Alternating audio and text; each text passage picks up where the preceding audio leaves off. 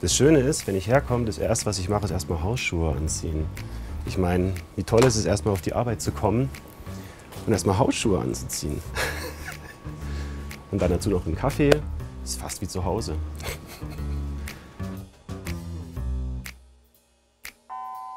Die Hausschuhe, letztendlich, damit wir gut belüftete Schuhe haben. Nein, das, ähm, letztendlich, das sind, um gut geerdet zu sein.